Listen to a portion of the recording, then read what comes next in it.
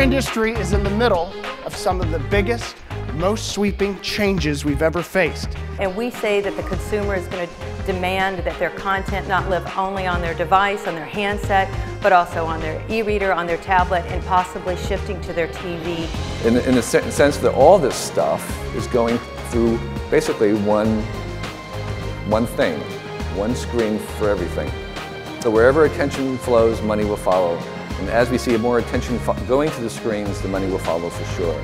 We haven't got a screen life and a, and a print life or a screen life and a real life. We just got a life. And we operate in both worlds. And we think within publishing that we should surely be doing the same. All of that is completely automated. There simply wasn't time for human beings to be involved in the production of the final files that go into the book. As publishers and anybody touching this industry, what are we doing today that doesn't make sense anymore? Acceleration into the future will require innovation, new ways of thinking. How do you get anybody to even know about your book, let alone read it? It's hard, I think, sometimes for us to realize where it's going to be in two or three years, but well, I think things are going to look a lot different than they do today.